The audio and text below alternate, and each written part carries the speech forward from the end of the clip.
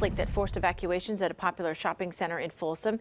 It's happening in on East Bidwell Street near Monrose Drive. PG&E says a car struck a gas manifold with several meters just after 9 o'clock this morning. Several nearby businesses were evacuated, but customers will be allowed to return shortly. The Front Street Animal Shelter takes in 11,000 animals, just like Max, every single year. All right, we apologize. That's the wrong soundbite there. The utility does expect full repairs to be made by 2.30 this afternoon.